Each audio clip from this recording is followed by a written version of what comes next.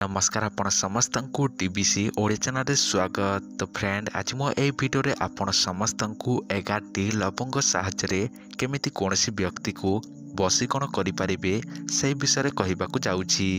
ସେଥିପାଇଁ ଏହି ଭିଡ଼ିଓକୁ ନିଶ୍ଚୟ ଥରେ ଶେଷ ପର୍ଯ୍ୟନ୍ତ ଦେଖନ୍ତୁ ଯାହାଦ୍ୱାରା ଆପଣଙ୍କର କୌଣସି ବି ସମସ୍ୟା ନିଶ୍ଚୟ ଦୂର ହେବ। ଯଦି ଆପଣ କୌଣସି ଝିଅ କୌଣସି ସ୍ତ୍ରୀ କୌଣସି ବ୍ୟକ୍ତିକୁ ଭଲ ପାଉଥିଲେ ବା ପ୍ରେମ କରୁଥିଲେ ଏବଂ ସେହି ବ୍ୟକ୍ତିଟି ଆପଣଙ୍କୁ ଦୂରେଇକି ଚାଲିଯାଇଛି ପୁଣି ଆପଣ ଫେରି ପାଇବାକୁ ଚାହୁଁଛନ୍ତି ତାହେଲେ ଆଜିର ଏହି ଉପାୟଟିକୁ ଆପଣମାନେ ଘରେ ବସି କରିବାକୁ ପଡ଼ିବ।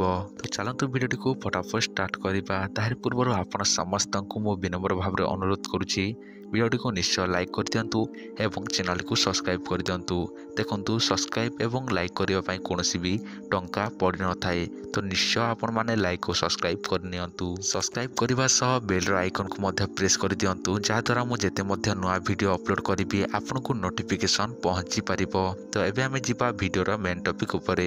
ତାରି ପୂର୍ବରୁ ଆପଣ ସମସ୍ତଙ୍କୁ ଗୋଟିଏ ତାବିଜ ବିଷୟରେ ଜଣାଇ ଦେଉଛି।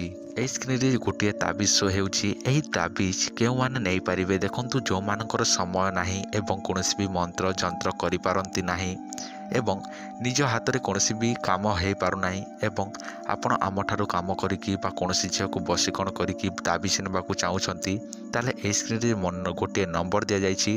ସେହି ନମ୍ବରରେ କଣ୍ଟାକ୍ଟ କରିକି ଆପଣ କୌଣସି ଝିଅ କୌଣସି ସ୍ତ୍ରୀକୁ ବଶୀକରଣ କରିକି ଆପଣ ତାବିଜଟିକୁ ନିଶ୍ଚୟ ଅର୍ଡ଼ର କରନ୍ତୁ। ଅର୍ଡ଼ର କରିବା ପାଇଁ ଏହି ନମ୍ବରରେ ନିଶ୍ଚୟ କଣ୍ଟାକ୍ଟ କରିକି ଅର୍ଡ଼ର କରନ୍ତୁ। ଏବେ ମୁଁ ଆପଣ ସମସ୍ତଙ୍କୁ ସେଇ ଏଗାରଟି ଲବଙ୍ଗ ସାହାଯ୍ୟରେ କେମିତି ବଶୀକରଣ କରିବେ ତାହା କହିବାକୁ ଯାଉଛି। ଦେଖନ୍ତୁ ଆପଣ ସର୍ବପ୍ରଥମେ କୌଣସି ଶନିବାର ଦିନ ଏଗାରଟି ଲବଙ୍ଗ ଆପଣ ସଂଗ୍ରହ କରିବେ।